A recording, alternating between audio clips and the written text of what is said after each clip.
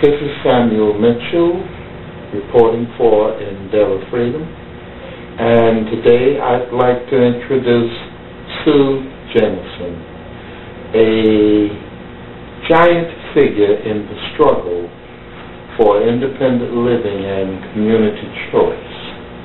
Hi, Sue. Hi. One of the first things I'd like to ask you is uh, how exactly did you become involved in this type of work, in advocacy for people with disabilities?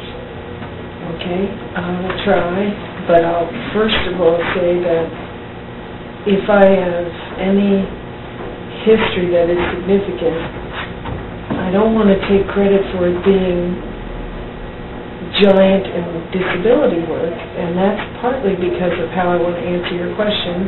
What I was and have been is just a lawyer for a legal aid office, and I was sort of trained and raised in the legal services tradition, which is about access to legal services by individuals who otherwise would not have attorneys or paralegals or other legal resources. So how I came into all of this was really like this. I had a job for a legal aid office in Jacksonville, Florida in the 70s.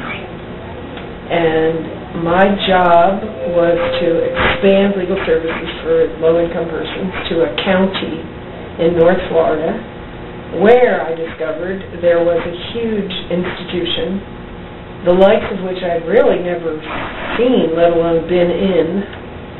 So when I reported back to my legal services director that if this was my job to expand legal services to individuals who couldn't afford lawyers in this part of North Florida, we certainly had to expand services to that institution.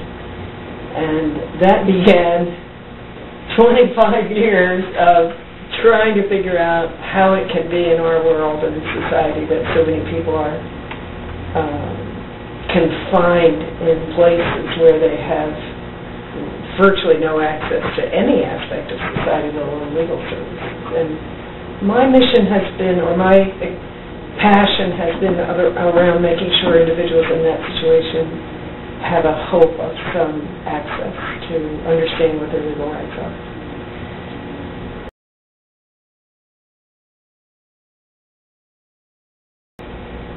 Would you explain, because a lot of people don't really know, uh, in the disability community we're familiar with it, but I find that outside of the disability community, people really don't know what the Olmstead decision is or what it's all about. Uh, would you explain that? Sure. So in the course of uh, just providing individual representation to people and institutions, um, and I was able to continue that work when we moved to Georgia from Florida, and I was able, with the support of Atlanta Legal Aid, to develop a special project to try to do some outreach to institutions. Anyway, in the course of that, um, in a really routine case, um, I and others represented Lois Curtis. Talk about a giant in disability rights.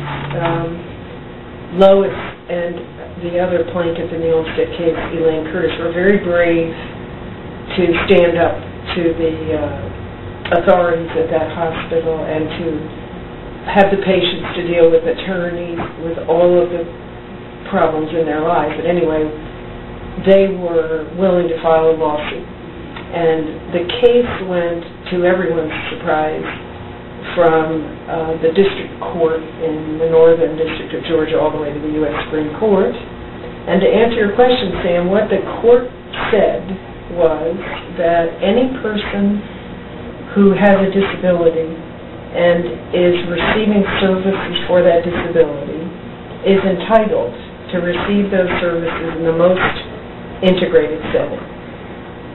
Um, the significance of Olmstead is that that principle, right to services in the most integrated setting, was applied to institutionalized people. In other words, that was language right in the Americans with Disabilities Act, that states must provide disability services to people in the most integrated setting, but it had never been applied in this obvious setting, which was people locked up and confined and uh, separated from the rest of society. So Elaine and Lois were people who didn't need to be institutionalized, just like, as you know, and the disability community especially knows, are thousands of other people then and now still in these state facilities and in nursing homes. Um, But no one had ever clearly associated that group of people with this particular part of the ADA, which says public entities have to serve individuals with disabilities most integrated setting. So what it means is if anybody is in a segregated setting, meaning the other people there are also people with disabilities, rather than being in a setting like the rest of us in a community or in a neighborhood, that that person has a right to say to the state, I need this service, whether it's a state psychiatric hospital or a nursing home, Medicaid benefits in a nursing home, but I don't need that service in a segregated setting, and under the ADA, the state is obligated to provide this service in the community.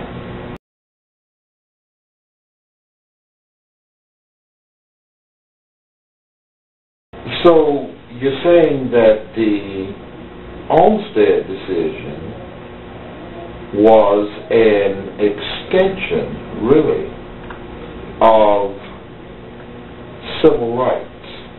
Of the civil Of the rights civil rights. set forth in the ADA, Yes, yes. set forth in the ADA. Okay.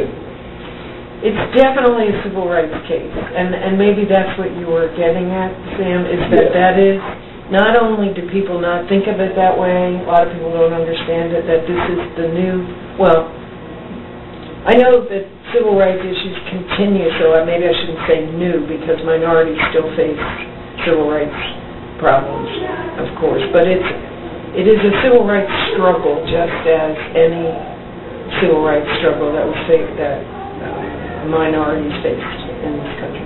I always think about it like this, that, that, for example, if you were a minority in the public school system, even though it took years for the, that, uh, the Brown versus Board case to be effective, um, African Americans at least knew that this was a civil rights issue.